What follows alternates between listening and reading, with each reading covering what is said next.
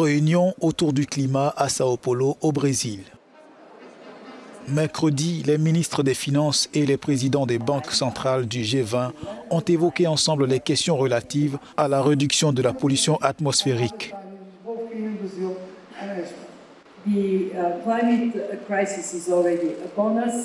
La crise climatique est déjà là et nous devons admettre que nous avons été un peu lents à y faire face.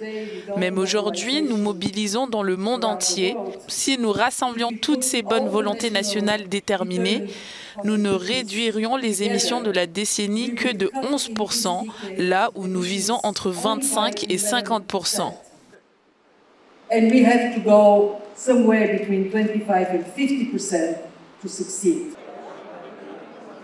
Le Brésil assure la présidence de ses assises cette année.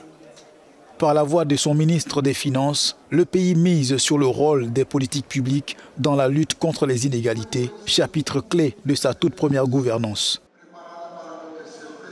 En même temps que nous rêvons d'un avenir plus prospère, durable et diversifié, nous sommes également conscients que le climat économique mondial est difficile.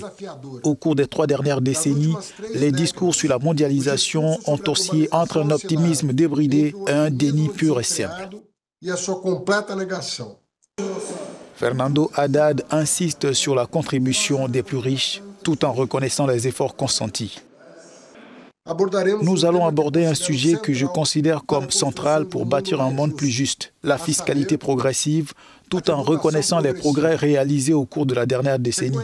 Il faut admettre que les milliardaires du monde entier doivent payer leurs taxes et des contributions plus justes.